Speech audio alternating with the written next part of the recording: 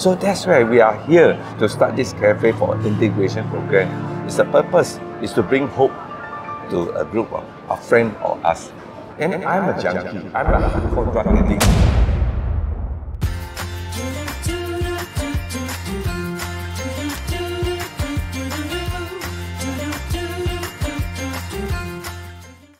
Yo, what's up guys? Welcome to season 4 of Jiak Pah Pah! Are you excited? Today I'm stoked because I'm here to bring you to a cafe that serves not only good food but represents something. This is a cafe where people come to make or break. So are you ready? If you are ready, come let's go! Oh, Monday, Monday, Monday.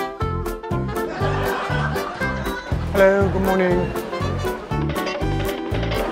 Lunchtime food! tell you, Singapore is a haven for food.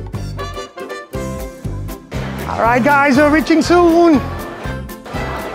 And here we are.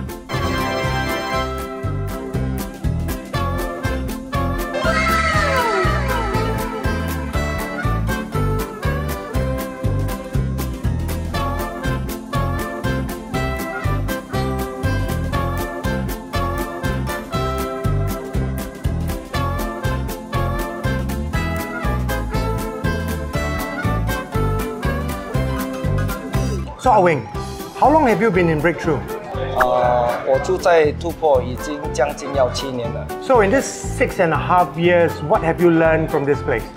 呃，其实我来到突破的时候，呃，我还开始的很不习惯，因为这边的距离是蛮远的。连我在这边这六年半，我感谢上帝，因为他的爱以及在这边的领袖同工的帮助，让我在生活上得到了更大的啊、盼望，以及生活的更有意义。也在这边学习了跟人怎么样去交通，以及用温柔的言语来彼此的扶持。说你以前很粗鲁啊。啊、是蛮粗鲁的啦。So, uh, what this brother has just said that over the six and a half years that he has been in Breakthrough for this cafe, he has learned a lot of things. Uh, chiefly, how to be more gentle. Uh, he said he was a rough sort right at the beginning. Yeah, so that is very important um, if one wish to reintegrate back into society. So, can you tell us a bit about the hiring process of this place?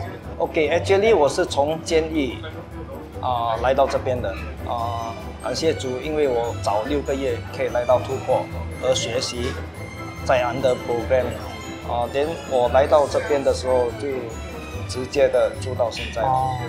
so this, this brother said that he was he was under a prison program, a community-based program, and he was placed in Breakthrough Halfway House. So while he was staying in, in the halfway house, the halfway house sent him here to work in a cafe. So that's how it, it, it went. How has Breakthrough helped you with the reintegration process? OK，actually、在这边的帮助，他真的帮助到很多，因为我跟家里的关系也很破裂，也很不好啊，因为我每次带给家里人很多麻烦，连在这边他们用啊神的爱来关心我，也以及给我带我回家啊探访我的儿子，探访我的姐姐，也让我知道在这边的生活可以让我真的活得更加的有意。So his brother said that um, this place has helped him a lot. It is through the gospel, through God's love, that um, that has helped him mend his relationship with your family. Yes. So initially his uh, relationship was very bad, but through this center, it's helped him mend the relationship with his child, with his sister. Yes. Right, and yeah, he's really very happy about it, and he thanks God for it. He really enjoys the job here because he gets to uh, meet a lot of people, and while meeting them, he gets to share his testimony about God's love, share about his past, and how his life was and is. It's two very different things. And above that, I guess this is what I guess uh, the food also plays a part. lah. Yes.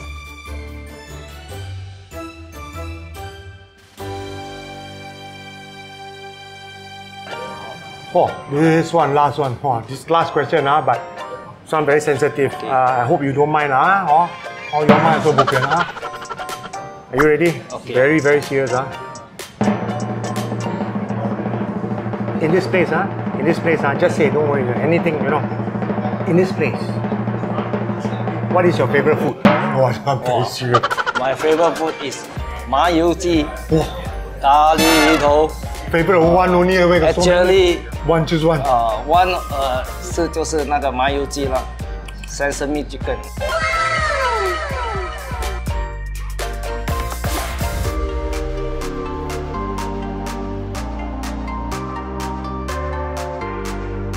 第到十七你學到真侪物件啦，真侪物件袂曉嘅第十學啦，學習啦，學習安怎安怎去接待人，哦，安怎去甲甲人啊相處啊，誒安怎去幫助人咁款。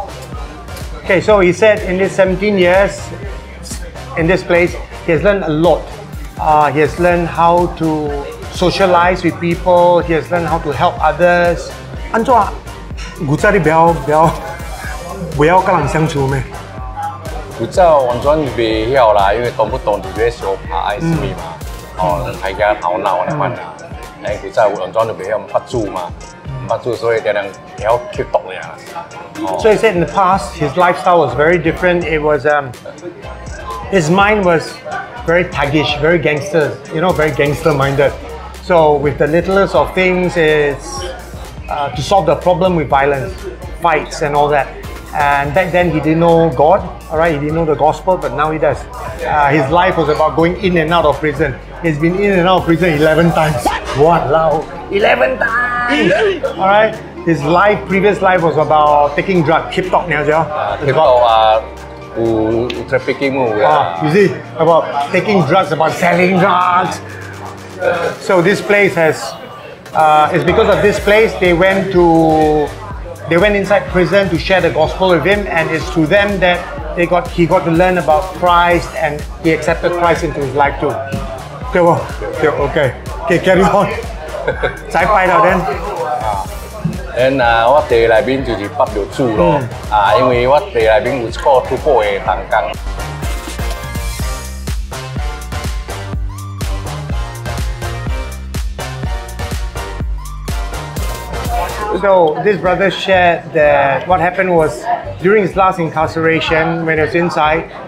there's this guy that he knew from young. All right, they were from the same gang, and he used to be a very violent guy. You know, he has, they went for fights together, and he saw, he witnessed how this guy even took a, uh, the other the victim's face, and you know he was like polishing the the floor of his face. But this guy, when he, this fellow friend of his, when he came to prison, he came in the capacity of a counselor. All right, so to him it was a shock.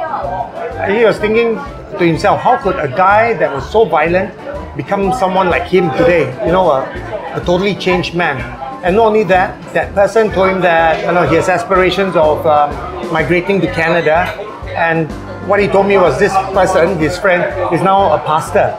So his friend, the friend um, encouraged him to um, to read the gospel, to go back to his cell, to pray about it, and allow God to change his life. And you know, he was the first guy back in this system that in Singapore we call long term. That's for drug offenders, huh? Long term one. After or during his prison sentence, they had sent him for a program at Breakthrough Halfway House, and through that, you know, who know who who would know that he has stayed so long for 17 years? I asked him what is his favorite thing down here. So he said that like before, uh, okay, so you guys don't both know this cafe is situated next to the Singapore courts, just exactly next to it. So he said very often he will see families come in the morning, have their meal happily, and then later on in the afternoon or evening, he will see the same group of family, the same group of people, but minus one, but their mood will be totally different. And you know, it reminds him of the past, how he would, you know, be happy in the morning with his family, and then later when he go to court, he'll be sentenced and then go into prison, and how the mood of his family would change. So he feels that his favorite thing is to encourage these people when he sees a situation like this, to encourage the families, yeah, to bring, I guess, some comfort to them because it reminds me reminds him of his past. So I've asked him whether um, organizations like Breakthrough is needed in Singapore to help people like us reintegrate and he said it's very necessary. It's best if you know three or four more could, could be set up in Singapore. 你拿 Star Wars 好。 相对 suka 食面是什么面？相听暑假食啊， Yes，一行嘢袂使袂使讲沙拉就知啦，tell you 啊。上暑假食是咖喱龟啦，咖 Hare quick. Oh, this guy, new one. His favorite food, curry chicken. Later, I think I also try, huh? Confirm ho chia bo. Uh, curry chicken ka nasi lemak. Okay, you said both the curry chicken and nasi lemak is nice. Confirm ho chia bo. Confirm, confirm. He said confirm very nice. Later we try, huh? Tam bo chia to try. Okay, thank you, brother. Okay, come Okay, guess who is this lovely person with long hair? This photo was taken in 1968. Are you ready? One, two, three, jang, jang. None other than Pastor Simon Neo himself. Hallelujah, glory be to God. Hello, uh, this is Brother Simon Neo from Breakthrough Mission. Okay, uh, Pastor Simon, I know you started this, you started Breakthrough Mission, all right? It's been for a long time and Breakthrough Cafe, of course. Can you tell us a bit more about uh, why you started this place? Yeah, I think way back 1969, as I recall back, uh, just now the right in front of Breakthrough Cafe is a subordinate court. So in 1969, 20 of us, a hardcore addict, have been arrested and stand in front of the judge, waiting for sentence. I still remember those days the newspaper named our group as Alpha, Alpha Romeo Group. Alpha Romeo Group? ah? Yes. Okay. So since then, and I've been in and out prison. Yeah. 1969 in Queenstown Prison, 70 in Changi Prison, 74 in St. John Island. Our life never changed uh, until 1977. Friend of mine introduced me to a Christian halfway house, House of Hope. Finally, I found hope in Christ Jesus. From there, my life transformed and I dedicate my life to serve the Lord in this transformation life ministry until this day. So 1983, we started Breakthrough Mission, a Christian halfway house, to reach out to more, to reach out to our kind of background, those troubled and wounded lost soul. After Breakthrough Mission, uh, in serving for 20 years, also we have prepared, uh, looking for a, a wonderful place for our, brother for their integration. So finally we found here, uh, then we, we, we saw this is a good place. So my chairman is a lawyer, uh, Mr. Lauren Fong. So I, I invite him to come and take a look. Hey brother, I say this is a good place for our breakthrough ministry, our brother for their integration. then he came and said, wow, this is a good place. So started when we started, we rented the next two door, next door shop, start our book room. But that was 2005. Then 2007, the next this present ca- cafe owner approached me. He said, "Hey, brother Simon, why don't you take over this place?"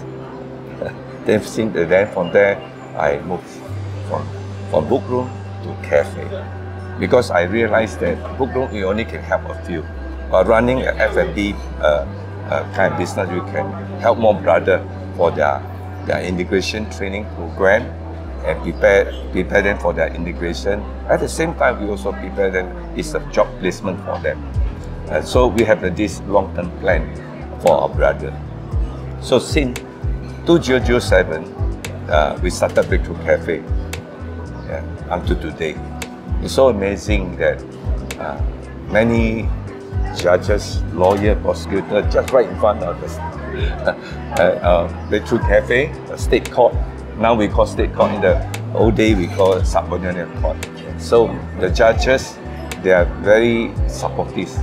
The lawyer and people who work in the court, they always show their, their passion, their care and concern. And the judges, in, uh, uh, they always order many coffee and tea. And our breakthrough brother, you know, to, they have testified many times. They say in the past, we stand in front of judges waiting for sentence. But today, wonderful, praise God, we go into the court. It's not for sentence, but we serve the judges.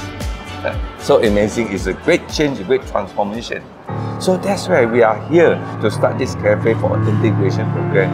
It's the purpose is to bring hope to a group of a friend or us.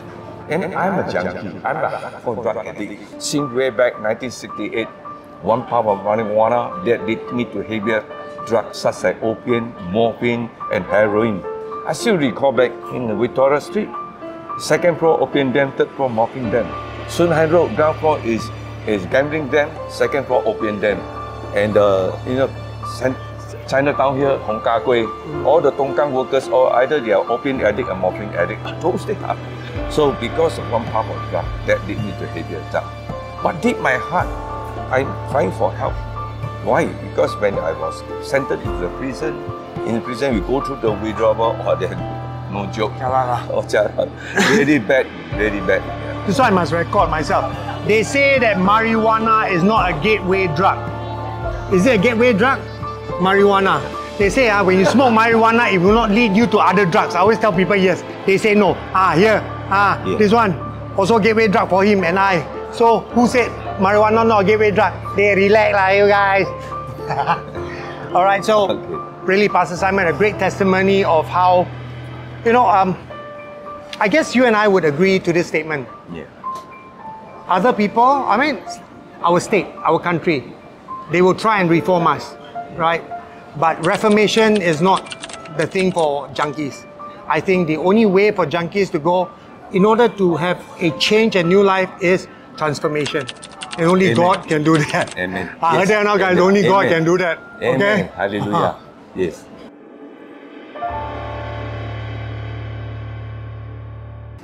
So guys, now is the moment of truth. All right, I've ordered for myself dishes that the brothers said are were their or are their favorite. So we have the uh, sesame chicken, the curry chicken, and then the nasi lemak. Okay. Same thing uh, now. Walao, cannot cannot decide which one to eat first. I think I shall go for the nasi lemak first. Huh? Stand by. Okay, uh, presentation wise, as you can see, oh, very nice. So apparently the the uh, nasi lemak they got two sorts where you can have either the chicken cutlet or the chicken wing.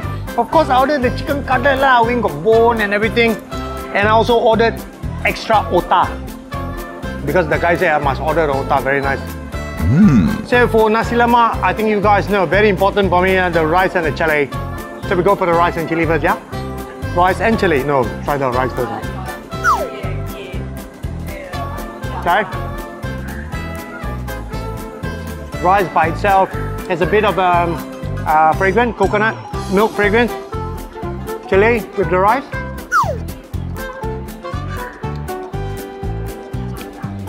Okay, good sambal tumis. The sambal tumis is good. Spicy, pungent, blends well with the rice. And now rice, nasi lemak, and ikan bilis. I like the way the anchovies are being fried, light and crispy.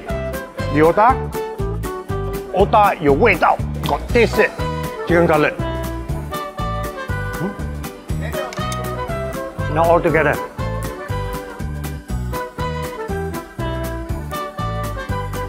Okay, so I can understand why the brother early on had said this is one of his favorite dish. Presentation wise, it's very good. Um, taste wise, it's slightly above average. And you know, it really fills up your stomach, right? So, this one, if let me rate, uh, I think I give it a, if you plus the um, social enterprise factor, of course, it's five, to, five out of five. lah. If you plus the social enterprise factor. Without the social enterprise factor, I think I'll give it a, a four. All right, a four. Four out of five. So we go on to the next dish. Okay, next up, ah, sesame oil chicken. So just now the brother also said very nice. Now we try, find out really nice or not.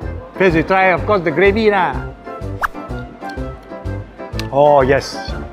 I mean, sesame oil by itself is, you know, it's very fragrant. And when you eat it with rice, ah, it's always ichiban. But it all depends also the sort of sesame oil that you buy. Some my mother taught me one. So if you bought, if you buy the sort of sesame oil that's low in quality, of course you're not going to get a good, good taste. This one I think is good. Let's see if we go with the rice can or not. Mm. Very nice. Chicken is tender. Wow, that's very important. Chicken tender very important. Chicken not tender, that's it. Mmm. Overall, I give it a. I guess ready. 3.8. Ta-da! 3.8 out of 5, guys.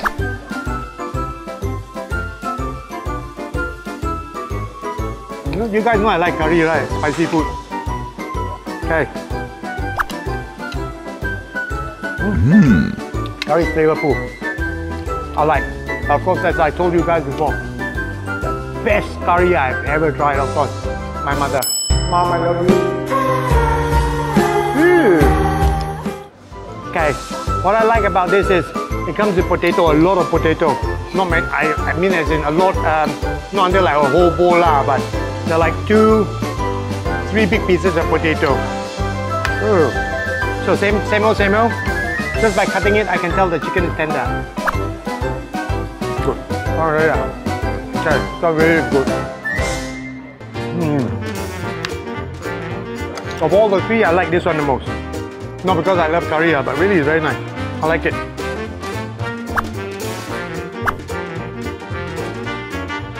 Hmm. Hmm. I really like it. Rating? Oh, very easy, Razvan. Rating 4.2. CDMG 4.2. I'll give this a 4.2, really. So, without the social enterprise factor, all right, the points will be as it is. But you plus in the social enterprise factor, I tell you, all of them get the pie from me. Breakthrough Cafe is more than a cafe that sells food. It is a cafe that sells love to anyone who walks through her doors. It is a place that gives hope to those who find hope no more. You know what? If you guys are up for a place that serves good food and has a social cause, well, Breakthrough Cafe is the place for you. But mind you first, huh? They will be ceasing operation somewhere in Oh, yes, they'll be ceasing operation on the 26th of August, but only temporarily. Operations will resume in October at a new location at Changi Village. Yes, so you guys can stand by until the next time where I'll bring you to a new location where we will find good food or food that has a social cause. This is Bruce signing out for Jia Papa.